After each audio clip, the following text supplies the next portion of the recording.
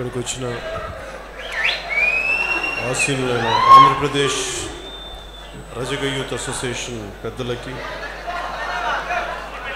పశ్చిమ గోదావరి జిల్లా auto owners workers union పెద్దలకి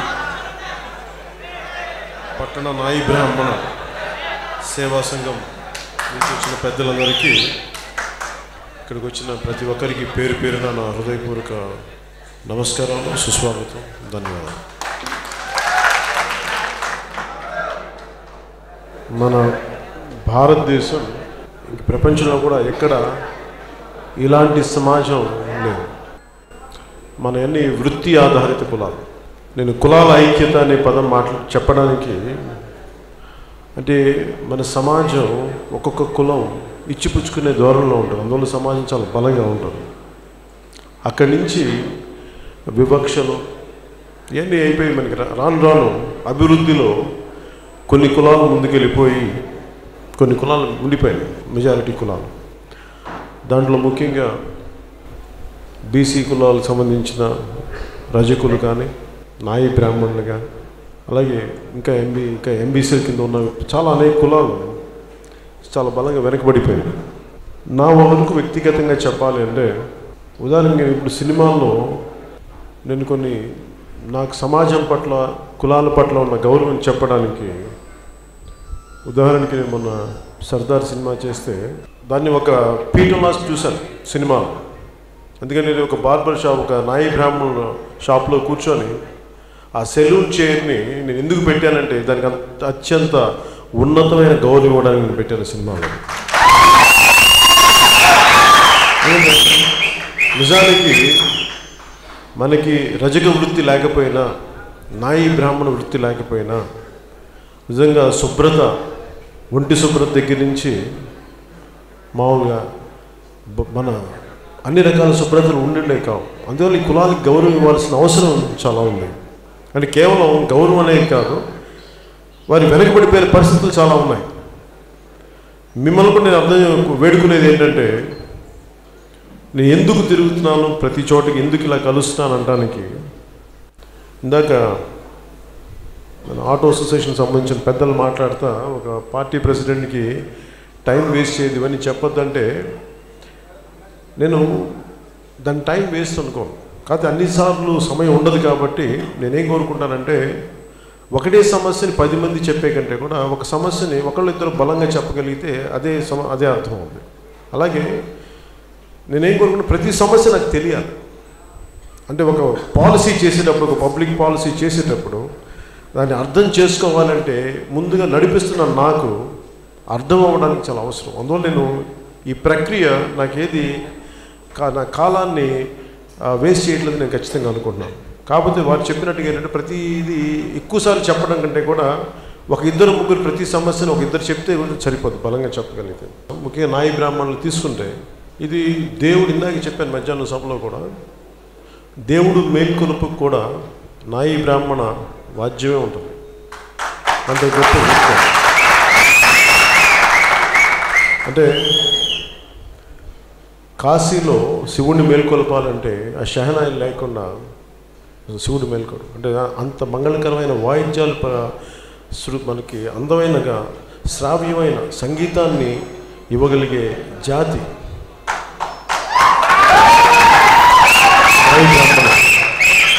ఆ జాతికి చాలా గౌరవం ఇచ్చి తీరాలి అన్నిటికంటే కూడా రిజర్వేషన్స్ ఉన్నాయి అభివృద్ధి వీటన్నిటికంటే కూడా మనం ఇవ్వాల్సింది. వారికి ప్రతి కులానికి ముఖ్యంగా నిర్లక్ష్యానికి గురిపడే గురికి గురవుతున్న కులాలకి ఇవ్వాల్సింది మొట్టమొదటిగా చాలా బలమైన ఆత్మగౌరవం ఇవ్వాలి. అంటే చెప్పుకోవడానికి నిన్న మన ఇందాక కూడా మధ్యాహ్నం ఎవరితో మాట్లాడుతుంటే బయటికి వెళ్ళి మన నాకు నాకు పర్సనల్గా బాగా తెలిసిన వ్యక్తి ఒక అబ్బాయి మాట్లాడుతా నేను స్కూల్కి వెళ్తా పే స్కూల్లో పేరెంట్స్ టీచర్ మీటింగ్లో అన్న స్కూల్ మీరు నువ్వేం చేస్తామంటే హెయిర్ డ్రెస్సింగ్ చేస్తానని చెప్పడానికి నేను సంకోచించాను. ఏమనుకుంటారు నా నా కూతురు మిగతా అంటే నా కూతురు క్లాస్మేట్స్ తల్లిదండ్రులు అని. మన దేశం దౌర్భాగ్యం. ఒక వృత్తి చేసుకునేటప్పుడు దాన్ని ఎందుకు మనం తగ్గించుకోవాలని నాకు అర్థం కాదు. అది మన సమాజం అలా చేస్తుంది ఇప్పుడు మన సమాజానికి మనం గౌరవం తెచ్చుకోవాలంటే ఫస్ట్ మనం చులకంగా ఫీల్ అవ్వకూడదు. మనం మనం చేసే పని మీద మనం గౌరవించాలి మనకి ఆత్మవిశ్వాసం రావాలి ఆ గౌరవం ఒక వ్యక్తిగా నేను ఇస్తాను. జనసేన పార్టీ ఆ గౌరవం నాయి బ్రాహ్మణ్కి ఇస్తుంది. నాయి బ్రాహ్మణ్ని జనసేన పార్టీ గుండెలకి హత్తుకుంటుంది కానీ ఇలా వేలిటి బెదిరించింది నాయకుడు ఆ రోజు ముఖ్యమంత్రి గారు నాయి బ్రాహ్మణుని ఆ యువతని ఇలా అంటుంటే నాకు నచ్చలేదు. వాళ్ళు ఏమైనా ఉగ్రవాదులా? లేదంటే వాళ్ళు ఏమన్నా మన కర్నూలు లాగా వెయ్యి కిలోలు డైనమెంట్లు పెళ్ళి చేసిన వ్యాపారస్తుల వాళ్ళు వాళ్ళు మామూలుగా అడుగుతారు మాకు కొంచెం మాకు కొంచెం ఎక్కువ మాకు ఇది ఇవ్వండి మాకు. కొంత లా మాకు సరిపోవట్లేదు. మాకు కొంచెం డబ్బులు ఇవ్వండి. లేదంటే మాకు కొంచెం ఉపాధి అవకాశాలు కొంచెం మెరుగ్గా ఇవ్వండి. లేదంటే కొంత జీతం పెంచండి. లేదంటే మాకు ధర్మాదాయ శాఖలు మా ఉద్యోగాలు పర్మనెంట్ చేయండి. మరి వాళ్ళని బెదిరిస్తారండి లాగిపెట్టి అధికారులను కొట్టిన ఎమ్మెల్యేని మీరు ఏం చేయరు? వెయ్యి కిలోలు డైనమైట్లు పేల్చేసిన వ్యాపారస్తులు మీరేం చేయరు? అడ్డగోలుగా ఇసుక దోపిడీ దోచుకున్న వ్యక్తులు మీరేం చేయరు? కానీ ఏ ఒంటి శ్రమశక్తితోటి స్వశక్తితోటి నైపుణ్యంతో వచ్చే నాయి బ్రాహ్మణులు ఏదో అడితే వాళ్ళ మటుకు మీరు వాళ్ళు బెదిరించండి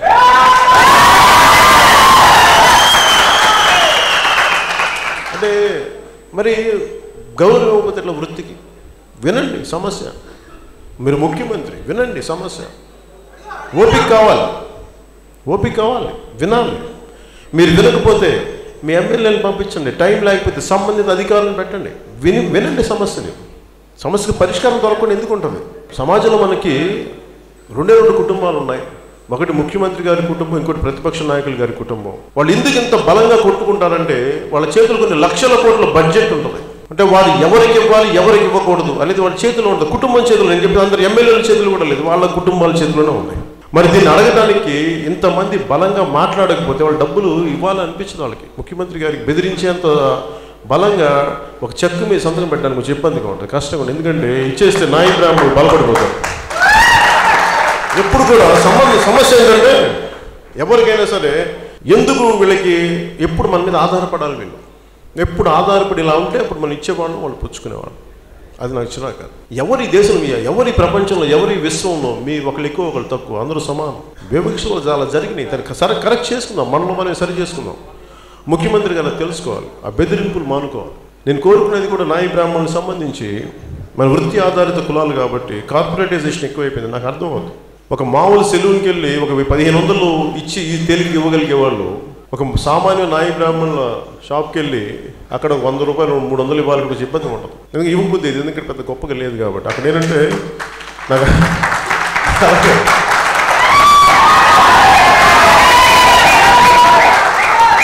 లే నేను చాలా చాలాసార్లు హెయిర్ కట్ చేయించుకున్నా. నేను ఎప్పుడు ఇంట్లో చేయించుకున్నా. నాకు అలవాటు. అంటే ఒకటి చిన్నప్పటి నుంచి మనకి అంత మా ఎందుకు కూర్చోబెట్టి ఒక చిన్న తాడు కట్టేసి కింద గీసేసేవాడు అలాగా. అది అలవాటు చిన్నప్పటి నుంచి. సార్ ఎవరైనా సరే ఇంటికి వచ్చి చేయమన్నాను సార్ నాకు వచ్చి డబ్బులే తక్కువ. ఒకసారి వేరే షాప్కి వెళ్తే ఇంత డబ్బులు తీసుకుంటారని అనిపిస్తుంది కళ్ళు తిరుగుతుంది నాకు ఒకసారి. నాకు తెలియదు ఇంత డబ్బులు తీసుకుంటారు మొన్న ఈ మధ్యన ఆమె హైదరాబాద్లో ఏదో షాప్ ఉంది. ఏంటంటే ఇది అమెరికా ఇంగ్లాండ్ వాళ్ళు పెట్టారంటే ఇది. ఇక్కడ షేవ్ చేస్తే ఐదు వేలు అంట. ఐదు వేలు అంట. ఏం చేస్తారు దానికి బంగారం లేదు బాగా షేవ్ చేస్తారు కానీ చాలా మెత్తగా శుద్ధి మెత్తగా పట్టుకుని ఇలా తింటారు అంటే ఇది నేను కోరుకునేది ఏంటంటే డెఫినెట్గా గ్లోబలైజేషన్లో పోటీతత్వం పెరిగిపోతే మిగతా కులాలు కూడా దీంట్లోకి వచ్చేస్తే చాలామంది పెట్టుబడిదారులు దీంట్లో పెట్టుబడి పెడతారు. దీంట్లో నష్టపోయేది మన భారతదేశంలోని ముఖ్యంగా మన వృత్తి మీద ఆధారపడ్డ ఒక స్కిల్ మన జీన్లో ఉంటుంది. మన డిఎన్ఏలో ఉంటుంది. అలాంటిది నేను నేను జనసేన మేనిఫెస్టో నేను కోరుకుంటుంది ఏంటంటే ముఖ్యంగా ఈ కార్పొరేషన్స్ కానీ ఏదైనా దానికి ఏదైనా పేరు పెట్టండి. నా కార్పొరేషన్ అంటో దాని ఫెడరేషన్ అంటాం ఏదైనా పెట్టండి. నేను కోరుకుంటుంది ఏంటంటే వాళ్ళకి చాలా తేలికపాటి వాళ్ళకి పెట్టుబడులు కావగలగాలి వాళ్ళు కూడా సమానంగా వృత్తి నైపుణ్యం పెంచాలి. వాళ్ళకు కూడా నాయ బ్రాహ్మణులకు కూడా ఇప్పుడు ఇందాక మీరు చదువుకొని మీరు మీరు మాట్లాడుతూ ఉంటే మీరు తిరిగి హైదరాబాద్లో మన తెలంగాణకు సంబంధించి అక్కడ ఇక్కడ ఆంధ్ర వాళ్ళు ఇక్కడ ఎందుకు వచ్చారు మీరు ఎలా వచ్చేసారో మీరు ఇంజనీర్ అయ్యండి ఇక్కడికి వచ్చేటప్పటికి మరి పెట్టుకోవాలంటే ఒక మంచి బలమైన పెట్టుబడి పెట్టేస్తా పరిస్థితులు కావాలి. అందుకని ఖచ్చితంగా నేను దీన్ని దృష్టిలో పెట్టుకొని నాయి బ్రాహ్మణులకి చాలా దాంట్లో మంగళ వాయిద్యాలు వాయించే శక్తి సామర్థ్యాలు ఉంటాయి. ఒక కందుగుడి వైద్యనాథంలా అలాగా మన కూర్చోబడి ఇంత అందంగా మన కేసు సంస్కరణ చేయగలిగే ఉన్నాయి మేకప్స్ చేయగలిగే ఇంత ఉన్నాయి. బోల్డంత టాలెంట్ బోల్డంత అవసరం. జనాభా పెరుగుతూ ఉంటుంది అవసరాలు పెరుగుతూ ఉంటాయి అందుకని ఖచ్చితంగా ఇంత బడ్జెట్లో స్టేట్ బడ్జెట్లో మీరు ఇంతమంది ఉన్నారు కాబట్టి ఖచ్చితంగా మీకు అండగా నిలబడాలి.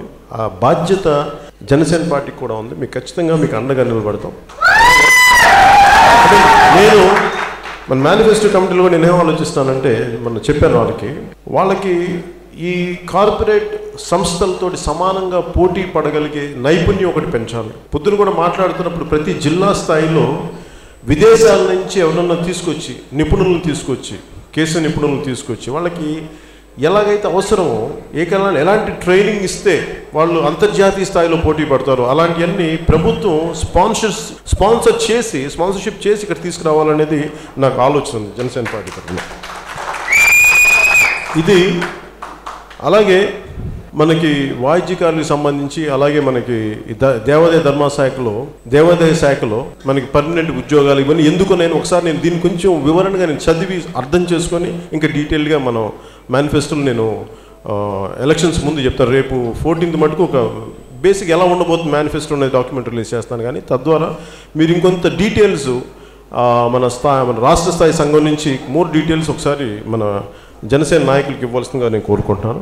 అలాగే మీకు అన్నిటికంటే కూడా ప్రతి కులానికి ఒక ఎమ్మెల్యే కావాలనో ఎంపీ కావాలనో రాజకీయ ప్రాతినిధ్యం కావాలనో ఖచ్చితంగా ఉంటుంది. అలాగే మనకి గ్రామ సర్పంచుల దగ్గర నుంచి పెద్ద స్థాయి వార్డు మెంబర్ దాకా అన్నీ ఉండాలంటుంది నాకు సమస్య ఎక్కడ ఉందంటే అందరికీ నాకు చేయాలని ఉంది కానీ దీన్ని ఎంత స- ఎంత బలంగా చేయాలి అన్న ఆలోచనే ఉంది నాకు. అందుకని మీరు ఆలోచించాల్సింది ఏంటంటే మీరు అందరూ సంఘాలుగా వచ్చినప్పుడు కలిసి వస్తున్నారు కానీ మీ మీ ఊర్లకు వెళ్ళిపోయినప్పుడు ఊళ్ళకి వెళ్ళిపోయినప్పుడు మీరందరూ విడిపోతున్నారు. మళ్ళీ స్థానిక రాజకీయ పరిస్థితులు లొంగిపోయి మళ్ళీ మాకు బలం లేదనుకుంటున్నారు నాకు పొద్దున కూడా బీసీ కులాల మీటింగ్ జరుగుతున్నప్పుడు నాకు ఒకటే అనిపించింది. మా మేము సగం మాకు సగం అంటే ఖచ్చితమే. మరి ఇక్కడ చూపించినంత బలం సభల్లో చూపించినంత బలం వెళ్ళి స్థానిక నియోజకవర్గాల్లో అక్కడ అక్కడ కానీ ఆ బలం చూపించగలిగితే అక్కడ కానీ కట్టు చూపించగలిగితే అక్కడ మనకి ఐక్యత చూపించగలిగితే ఎందుకు లేదు? సగం కాదు సగానికి పైగా వస్తుంది. అది కేవలం మీ చేతిలో ఉంది. లేదా ముఖ్యమంత్రి గారిని అడగాల్సిన అవసరం లేదు. నిజంగా మీకు కనుక రాజకీయ ఐక్యతగానే ఉండగలిగితే. అందుకని నేను నన్ను కూడా పరిపూర్ణంగా నేను చెప్పిన మాటలు కూడా మీరు ఆలోచించండి. నేను మీకు నిలబడగలిగే వ్యక్తిని అని నమ్ముకున్న మీకు అనిపించినప్పుడు ఎందుకంటే మీరు అందరిలాగా ఇక్కడ ఇద్దరు ఇద్దరు నాయకులు ఉన్నారు. ఒక నాయకులు ఏమేమంటారు నన్ను ఇంకోసారి ముఖ్యమంత్రిని చేయించిన అద్భుతాలు చేస్తానంటారు. ఇంకొక నాయకులు నన్ను ఇంకో నేను ముఖ్యమంత్రిని చేయండి అప్పుడు చూ- చేసి చూపిస్తాను నేను అవేం అడగట్లేదు. నేను అడిగేది ఏంటంటే మీకు అండగా నిలబడతాను. దీంట్లో నాకు మీరు ఓటు వేసినా వేయకపోయినా ఎందుకంటే ఇప్పుడు నన్ను వాడుకొని నన్ను చాలామంది వాడుకుంటారు. ఎలా వాడుకుంటారో కూడా చెప్తాను నాకు తెలియక కాదు. చూస్తున్నా ఎలా వాడుకుంటారంటే నన్ను కలుస్తారు. కలిసి చంద్రబాబు నాయుడు గారికి ఒక మెసేజ్ పంపిస్తాను పవన్ కళ్యాణ్ కలు ఎదురు వాళ్ళ కార్పొరేషన్ చైర్మన్ అని వస్తాయి లేదంటే మొన్న ఈ మధ్యన ఒక రెండు మూడు జిల్లాల్లో కూడా పదవులు ఇచ్చేశారు వాళ్ళకి. అలాగే లేదంటే నువ్వు ఇవ్వకపోతే నువ్వు జనసేనకి వెళ్ళిపోతానంటే వాళ్ళ దగ్గర మీరు నాకు ఏదో ఎంపీకి ఎమ్మెల్యేగా కా మీకు నెక్స్ట్ అంటే అలాగే వాడేస్తాను నాకు అంటే జనసేనని లెఫ్ట్ అండ్ రైట్ వాడకూడదు ఉండేది నాకేమనుకుంటానంటే పర్లా. నేనేమనుకుంటాను ఎందుకు వదిలేస్తానంటే నేను వచ్చింది ఒక జనరేషన్ కోసం రాలా ఒక తరం కోసం రాలా. విలువలతో కూడిన రాజకీయం చేయడానికి విలువలతో కూడిన రాజకీయ వ్యవస్థని స్థాపించడానికి చాలా కష్టం. అంటే ఒక స్వరాన్ని ప్రసవింపజేయడానికి ఒక షెహనాయి నుంచి ఒక స్వరాన్ని ప్రసవింపజేయడానికి దాని కష్టం ఒక నాయి బ్రాహ్మణ కళాకారుడికే తెలుసు. అలాగా ఒక కొత్త రకమైన బా బలమైన రాజకీయ సమాంతర రాజకీయ వ్యవస్థని ప్రసవింపజేయడానికి ఆ కష్టం నాకు తెలుసు ఎంత కష్టం ఉంటుందో. అందుకని నేను మీకు ఎక్కువ మాటలు చెప్పేసి మీకు అందరూ మిమ్మల్ని మోసం చేశారు. ప్రతిసారి ఇప్పుడు మనం మాట్లాడుతూ ముఖ్యమంత్రి గారు ఏమంటారు? మేము అందరికీ అండగా నిలబడం బీసీ కులాలకు అండగా నిలబడతాం ఇవన్నీ మాట్లాడతారు. మరి అండగా నిలబడితే ఇన్ని సంవత్సరాలు నా దగ్గరికి వచ్చి ఎందుకు చెప్పుకుంటారు సింపుల్? నిజంగా ముఖ్యమంత్రి గారు అనుకున్న మాటలన్నీ చేస్తే అసలు నా దగ్గరికి ఒక్కరు కూడా రాకూడదు. జనసేన పార్టీ అసలు పెట్టాల్సిన అవసరం రాదు. అది సమస్య. అన్నీ నిజంగా అవన్నీ చేసే పరిస్థితులు కానీ ఉంటే అసలు నాకు నిజంగా అంత పార్టీ పెట్టాల్సిన అవసరం లేదు. చాలా గొప్పవాళ్ళు ఉన్నారు రాజకీయాలు. చాలా గొప్ప మేధావులతో మేధావులు ఉన్నారు ప్రతిభావంతులు ఉన్నారు బాధ్యత గల వ్యక్తులు ఉన్నారు నేను శుభ్రంగా సినిమాలో చేసుకుంటాను. నాకు చాలా ఆనందం. చదువుకుంటాను కానీ ఇవన్నీ లేకపోబట్టే ఇవన్నీ బాధ్యత రాహిత్యంతో ఉండబట్టే నేను సగటు మనిషిని మీలాగే. నేను ప్రత్యేకంగా ఏం పుట్టలా? కాకపోతే ఎక్కువ ఎక్కువ పని చేయగలను. ఎక్కువ బాధ్యత తీసుకోగలను. దెబ్బ తీసుకోగలను. కొంతమంది ఇబ్బంది పెట్టినా భయపడి వెనక్కి వెళ్ళి ఇంకా ముందుకు వెళ్తాను. ఇంకా ముండోని అవుతాను. చాలా మొండితనం వస్తుంది. నన్ను- బెదిరించే కొద్ది మొండితనం ఎక్కువైపోతున్నాను నేను కామ్గా వదిలేసి కామ్గా ఉండగానే నాకు సమస్య ఎక్కడ వస్తుంటే అభివృద్ధి ఫలాలు కొందరికి కుదరదు అందరికీ. కొన్ని కొన్ని వర్గాలకి కొన్ని కుటుంబాలకి కుదరదు అందరికీ కావాలి. దాన్ని చెయ్యాలంటే మనం పోరాటం చేయాలి నిలబడాలి ప్రశ్నించాలి. ఇది ఇందాక చెప్పినట్టుగా కేవలం ప్రశ్నించడానికి నేను ఎప్పుడు అనలా. ప్రశ్నించటం అధికారంలో ఒక భాగమే. వాళ్ళు ఇప్పుడు దాకా ప్రశ్నించడం అనేది వరకు ఆప్ చేశారు. అది కామామటికి ఫుల్ స్టాప్ కదా అందరూ అర్థం చేసుకోవాలి. జనసేన పార్టీ ప్రశ్నించడానికి చెప్పి ఫుల్ స్టాప్ పెట్టేశారు. మీరు పెట్టినారు ఫుల్ స్టాప్ నేను కిందకి ఫుల్ స్టాప్ కింద చిన్న గీత పెట్టాను అది కామరా బాబు? ఆగండి. నేను శాసించడానికి కూడా కాదు ప్రేమతో అర్థం చేసుకొని అధికారాన్ని అందరికీ పంచడానికి ఉంది జనసేన పార్టీ. బాధ్యతతో. నా ఒక్కటి స్వార్థం లేదు ఇందులో. నాకు డబ్బులు ఉన్నాయి. సినిమాలు చేసుకుని డబ్బులు వస్తాయి. బాగా చదువుకోగలను బోళ్ళది జ్ఞానం సంపాదించగలను సుఖంగా బతికేయగలను జీవితకాలం అంత. కానీ ఇంత ఏ జిల్లాకి ఇంత లక్షల మంది వెనక రాగలిగి ఇంత ప్రేమాభిమానాలు ఉండి ఈ జీవితాన్ని నాకు ఏదైతే జీవితాన్ని ఇచ్చిన సినిమా నుంచి ఇంతమంది జన సమూహం ఇంత ప్రేమతో నాకు జీవితాన్ని ఇచ్చినప్పుడు అది నేను తిరిగి ఇవ్వకపోతే నేను ద్రోహం చేసిన వాడిని అవుతానని చెప్పి నా మనస్సాక్షికి ఇబ్బంది కలిగి రాజకీయాలు అంటే అరవై ఏళ్ళ వయసులో కూడా రావచ్చు. మొత్తం పిల్లలందరికీ పెళ్ళిళ్ళు చేసేసి మనవాళ్ళు పుట్టకు ప్రయోజనం ఏముంది? వయసులో ఉన్నప్పుడు కదా వస్తే ప్రయోజనం. పోరాటం చేయడానికి బలం ఉంటుంది. దెబ్బ కొడితే ఎదురు దెబ్బ కొట్టగలం మళ్ళీ ఇప్పుడు. అప్పుడైతే శాంతం వస్తాయి.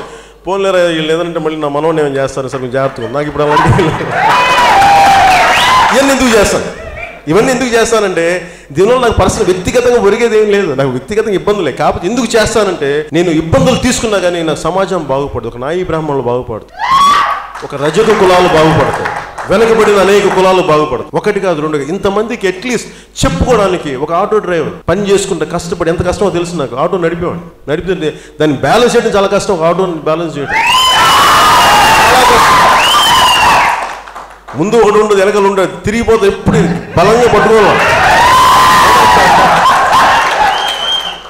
అంత కష్టం. అలాంటిది ఇవన్నీ మిమ్మల్ని ఇంతమంది ఇన్ని ప్రతి ఇందాక వాళ్ళు మాట్లాడుతున్నప్పుడు ఆటో డ్రైవర్స్ యూనియన్ మాట్లాడుతున్నప్పుడు నాకు అనిపించింది. ప్రతి ఒక్కరికి కార్పొరేషన్స్ ఉన్నాయి. కానీ ఒక ఆటో డ్రైవర్ యూనియన్కి కార్పొరేషన్ లేదు. మా ఒక్కరికి కులాల మతాలు లేవు నిజమే. ఒక ఆటో డ్రైవర్కి కులాల మతాలు ఎందుకంటే ఎవరైనా ఎక్కించుకోవాలి? అందరినీ తీసుకోవాలి.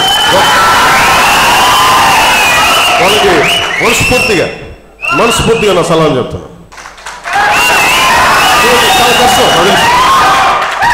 మీకు ప్రతి ఒక్కరు రవాణా శాఖ దగ్గర నుంచి పోలీస్ శాఖ దగ్గర నుంచి ప్రతి ఒక్కరికి ఎవరు లేరు ఆటో డ్రైవర్ చావు కట్టండి కొంచెం లాగండి అని వస్తాయి. ఎవరు ఈరోజు ఏంటి మనకి? ఇబ్బందులు కేసులు లేవండి. ఐదారు ఆటో మంది డ్రైవర్ లాగండి కేసులు ఇబ్బందులు ఉంటాయి. వాస్తవం ఇది నాకు తెలుసు. ఇది మనం ఎవరిని తప్పు పట్టాలి ఇందులో? సమస్య ఎక్కడ వస్తుంటే ఎవరిని తప్పు పట్టాలి ఎవరైతే ఇప్పుడు ముఖ్యమంత్రి గారే స్వయాన రజకుల్ని ఎస్సీ జాబితా ఎస్టీ జాబితా అంటే మీరు అంది.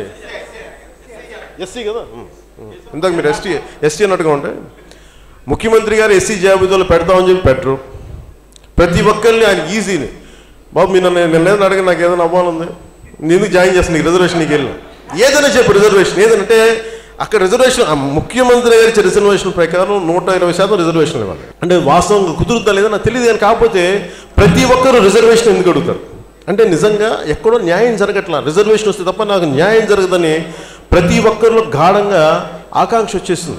కానీ ముఖ్యమంత్రి గారికి పాపం చాలా ఈజీ అని చెప్పడానికి కానీ ఆయన చెయ్యాలని మనసుందేమో కానీ పాప మాట ఇవ్వడానికి మనసుంది కానీ చేయడానికి మనసు లేదు ముఖ్యమంత్రి గారికి. మాట ఇవ్వడానికి చాలా ఉంది. ఇచ్చేద్దాం. ఎందుకంటే గెలిచేయాలి? ఎందుకంటే మీరు దయచేసి రెండు వేల పంతొమ్మిది ఎలక్షన్స్కి మీరు ఆలోచించాల్సింది నిజంగా ఈ వ్యక్తులు వెంట నిలబడితే మీకు కానీ ఐక్యత లేదు నేను నేను ప్రతి ఒక్కరికి ఇదే చెప్తున్నా. ఆటో డ్రైవర్స్ యూనియన్ దగ్గర నుంచి నాయి బ్రాహ్మణుల దగ్గర నుంచి రజకుల దగ్గర నుంచి కూడా ఉన్న మూడు సమూహాలకు నేను చెప్పేది. ఎనీ అసంఘటిత కార్మికులకి ఎవరికైనా సరే మీరు బలంగా నిలబడగలగాలి. ఒక సమూహంగా ఒక యూనియన్గా వచ్చినప్పుడు మీకున్నంత ఐక్యత బలం మీ మీ స్థానాలకు వెళ్ళిపోయినప్పుడు మీ ఐక్యత మీ బలం కోల్పోతున్నారు అందువల్ల వాళ్ళు గెలుస్తున్నారని నాకు అనిపిస్తూ ఉంది. మీరు ఓడిపోకుండా ఉంటే వాళ్ళు గెలవరు. అధికారం మీ చేతిలో ఉంటుంది. ఇది నేను మీకు బాధ్యత గల వ్యక్తిని. నేను ఎక్కడికి పారిపోను? సమస్యలు ఇంత ఓపికగా ఎందుకు వింటానంటే ఎందుకు? తెలివి తక్కువగా నేను నేను పోటీ చేయకపోవడం కాదు. అసహనం కావాలి రాజకీయాల్లో.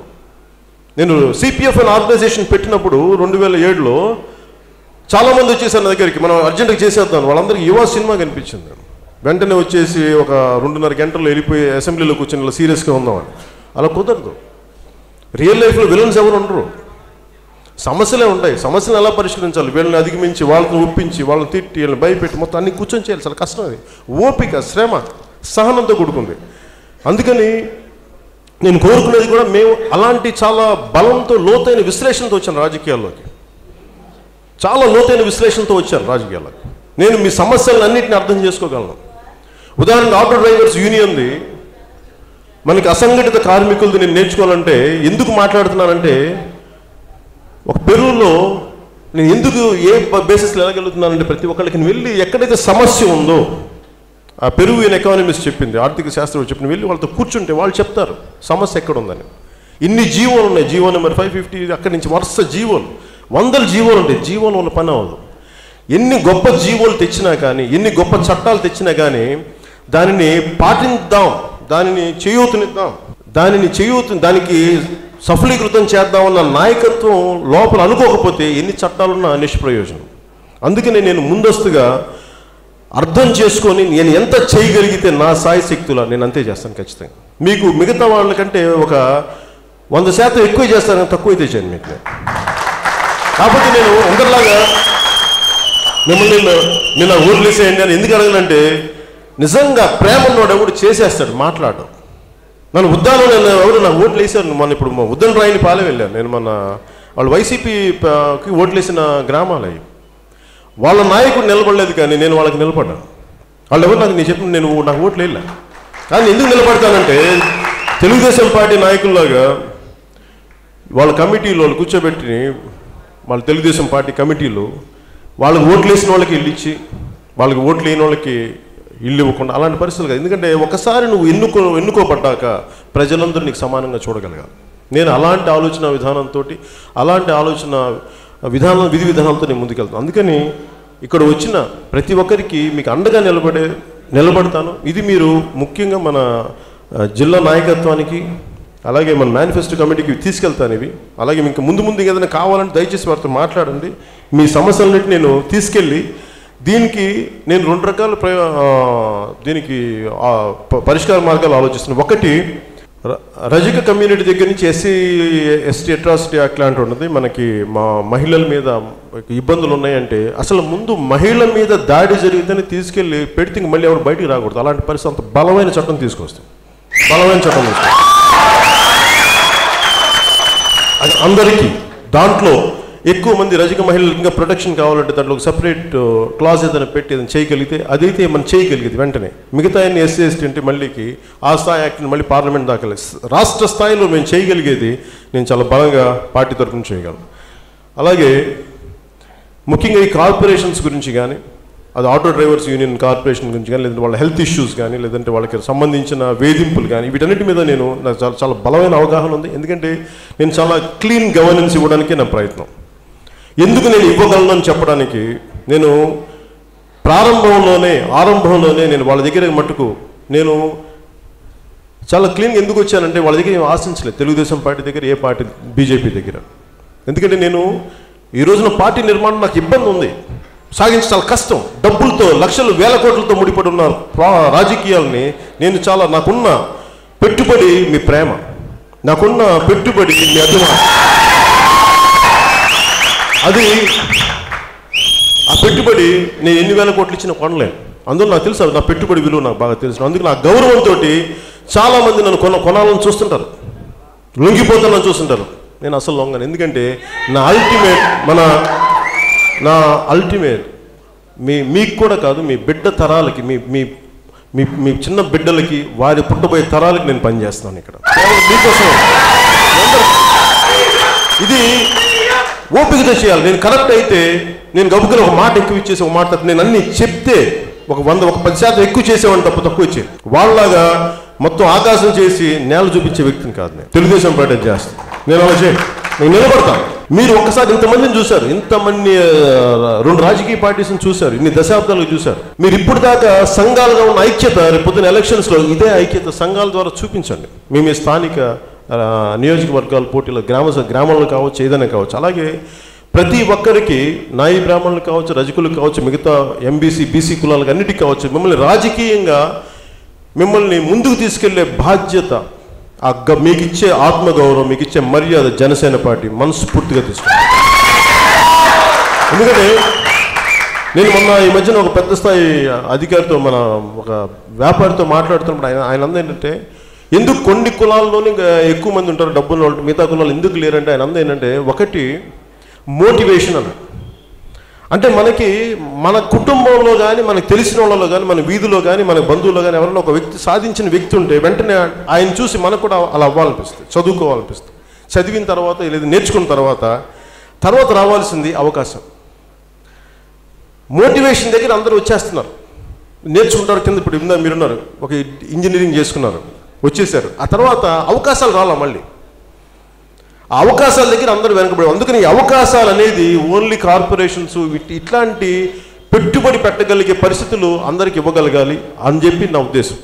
అందుకని అలాంటి కేవలం మోటివేషనే కాదు మీకు మీ మీ కులాల్లో కానీ మీకు రెండు రకాలుగా నేను హెల్ప్ చేయగలను. అడ్డ అండగా నిలబడగలను. ఒకటి మీకు ఆర్థికంగా మీరు నిలదొక్కునే పరిస్థితి మీరు ఆరోగ్యంగా జీవించే పరిస్థితి. దానివల్ల దానికి ఇన్సూరెన్స్ కావచ్చు హెల్త్ ఇన్సూరెన్స్ కావచ్చు లేదా ఏదైనా పరిస్థితి అలాగే మీరు ప్రశాంతంగా మీ పని మీరు చట్ట పరిధిలో చేసుకుంటే మిమ్మల్ని ఎవరు వేధించడానికి అది ఆటో డ్రైవర్స్ కావచ్చు ఎవరికైనా కావచ్చు మిమ్మల్ని చట్ట పరిధిలో ఎవరికి వాళ్ళు ఉంటే ఎలాంటి వేధింపులు ఉండవని చెప్పి మీకు జనసేన ప్రభుత్వం వస్తే ఎలాంటి వేధింపులు ఉండవని మీకు మనస్ఫూర్తిగా తెలియజేసుకున్నాను ఒకవేళ మిమ్మల్ని అలాంటి వేధింపులు కానీ గురి చేస్తే అలాంటి అధికారుల మీద చాలా బలమైన కఠినమైన చర్యలు తీసుకుంటాం. ఎందుకంటే మీరు మీ సంతోషం చాలా అవసరం. ఎందుకంటే నా నేను మొన్న ఇచ్చి నాకు ఫోటో పంపించారు ఎవరు? పంపిస్తే పాపం గర్భిణీ స్త్రీలకు ఉచితం అని చెప్పి ఒక ఆటో మీద ఉంది. నాకు చాలా ఆనందం వేస్తుంది. ఎందుకంటే నాకు ఇప్పుడు ఆటోలేమో కానీ నా చిన్నప్పుడు పుట్టి ఉన్న ఆటోలు ట్రైసిల్ రిక్షా. మా అమ్మ మాకు ఒక అక్క పుట్టింది చనిపోయింది అనుకుంటా పు- పురిట్లోనే. రిక్షాలు ప్రసవించేసింది మా అమ్మ. హాస్పిటల్కి వెళ్ళే లోపు. సో అందువల్ల అలాగే ఎన్నో ప్రసవాలు ఆటోలో కూడా జరిగినాయి. అలాంటి అంబులెన్స్లు అవి. నిజంగా జీవన అవి జీవాన్ని కాపాడే అంబులెన్స్ ఆటోలు. డెఫినెట్గా మీ ఆటో సమాజానికి ఆటో డ్రైవర్లు సమాజానికి అండగా నిలబడతాను మీకు నిజంగా మనస్ఫూర్తిగా మీకు అండగా నిలబడతాను తెలియజేసుకుంటూ. అలాగే నాయి బ్రాహ్మణులకి రజకులకి మీ ఆత్మగౌరవం లభించేలాగా మీకు ఉపాధి అవకాశాలు బలంగా ఉండేలాగా అలాగే మీకు ముఖ్యంగా నాయి బ్రాహ్మణులకు సంబంధించి ఈ దేవాల దేవాదాయ శాఖలో ఆ ఉద్యోగాలు పర్మనెంట్ పర్మనెన్స్ ఏంటి ఎలా కావాలి వాటి మీద కూడా కొంచెం చదువుతాను వాటి మీద అర్థం చేసుకుంటాను.